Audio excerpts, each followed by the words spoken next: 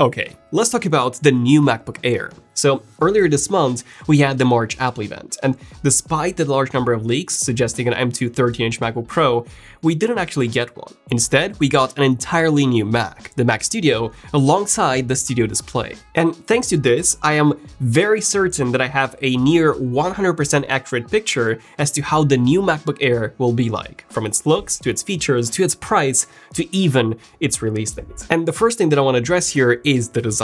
If you've been following our videos or even just Apple Leaks in general, you're probably aware that its new MacBook Air would come in multiple colors. Not just silver, space gray, and gold, but a wide range of colors that would pretty much match the iMac colors. The first person to leak this was Jon Prosser, who's had some accurate design leaks in the past, and he showed us a render of this new MacBook Air based on some images that he had seen. We've also had multiple mentions from other leakers that this new Air would come in multiple colors, but only Jon's showed us a visual representation of how this might look like. And from these images, it looks almost identical to the 13-inch MacBook Pro, just without that underside portion. However, while I do think that some elements of the leak are correct, I also think that some are not. So we modeled and rendered our very own ZONEofTECH concept as to how we think this new MacBook Air would look like. And the first thing that you'll probably notice in our concept as opposed to Jon's is that our version actually resembles the 14-inch MacBook Pro quite a lot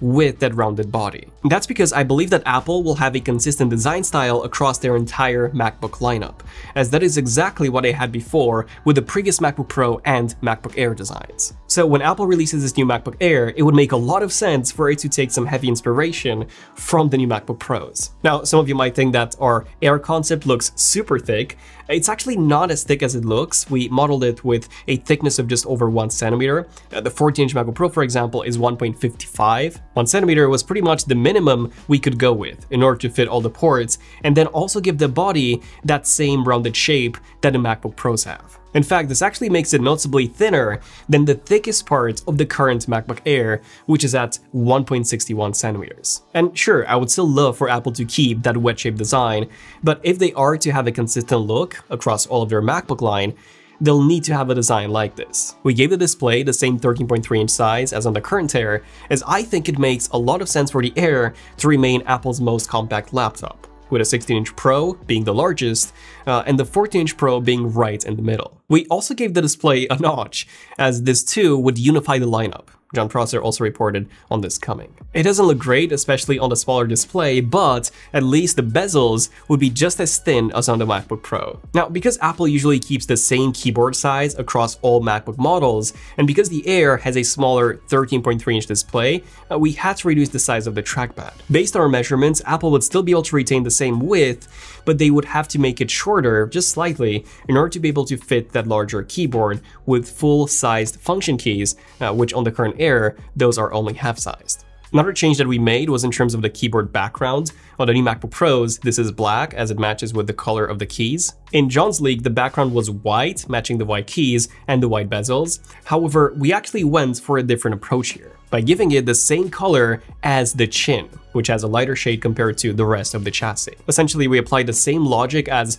on the new iMacs, where the front has this lighter look and the back has this darker look. Also, the iMac's keyboard does indeed have a colored background that perfectly matches the chin, which is exactly what we've done here. We've also relocated the speaker from the side to the top. Uh, this was because there just wasn't a lot of room on the sides, plus having them above the keyboard does resemble the old 12-inch MacBook quite a lot. And I've theorized in some of our previous videos that Apple might just call this MacBook, essentially dropping the Air name, uh, and in this case, having the speakers above the keyboard would make even more sense. But you know what else would make more sense?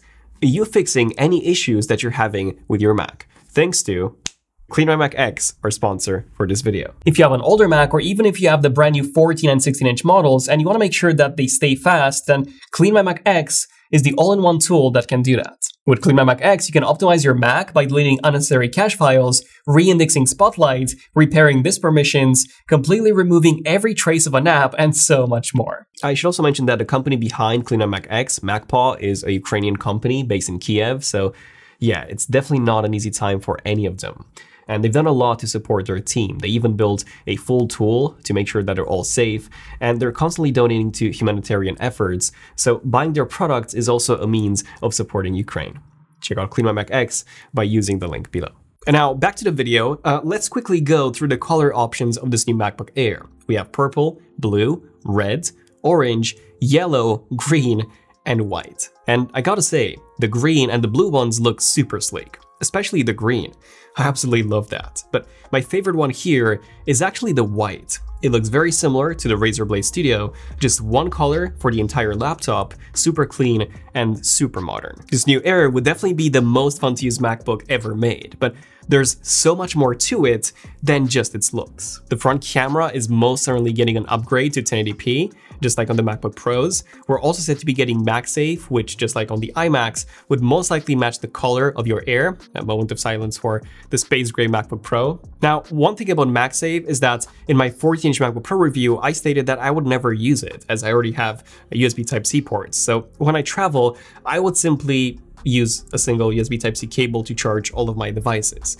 A moment of silence for the iPhone. But something that I hadn't realized at that point was that having MagSafe technically frees up one of your other USB-C ports which means that's on the air, uh, that would still only have two USB-C ports, you could use both of those for external devices while still being able to charge your MacBook using that MagSafe port. I should also mention that the two USB Type-C ports would be Thunderbolt 4, which are said to be located on each side as opposed to both on the left. Again, a super useful feature as now you can connect your monitors or your chargers from the side that is the most convenient. What's really cool about Thunderbolt 4 is that now you have these even beefier Thunderbolt docks that can give you 18 extra ports. That is 36 extra ports, provided that you use both Thunderbolt ports. Something that can turn your MacBook Air into a proper workstation. Link in the description in case you're interested in such a dock. Speaking of a workstation, the performance, as you all know by now, is said to be bumped thanks to Apple's M2 chip. This has recently been reiterated by Mark Gurman, saying that the M2 would have 8 CPU cores and 10 GPU cores, with 9 for the bin version. And of course, dual external displays are also expected, uh, which was a major downside for a lot of people with the M1, including myself. All of this sounds awesome, but how much is it going to cost and when is it going to be released? Well, price-wise, it all depends on what Apple does with the current M1 MacBook Air and what it will be doing with that upcoming M2 MacBook Pro. We've heard plenty of rumors that this new M2 MacBook Pro would still have the same design as the M1 13-inch, and if this is true, then this new Air would be more expensive given that it's a redesign um, than the M2 13-inch MacBook Pro, which wouldn't really make a lot of sense. Of course, if Apple keeps the M1 Air, then this would push the price of the M2 Air even more. Personally, I just don't see a MacBook Air costing more than a MacBook Pro. So I'm going to predict that Apple will only have this new Air um, and then a redesigned M2 MacBook Pro for a higher price. 999 would be a dream for this new Air, but 1100 would be more realistic. That is assuming that they don't keep the current Air and they do redesign that M2 MacBook Pro. And in terms of the release date, Ming Chi Kuo is saying late Q2 or Q3. Uh, this would mean anytime between June and September. Um, I would put my money on June as that's when WWDC is, and that's when it would make the most sense for Apple to launch the M2 chip. And of course, when the M2 chip launches, we would need a product to go alongside it, which would most likely be the MacBook Air and that new Mac Mini, which we've covered in this video right here. Personally, I'm super excited for this new Air and I cannot wait for it. So let me know in the comments, what do you guys think?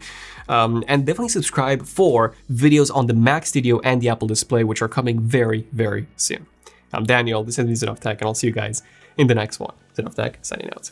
Cheers.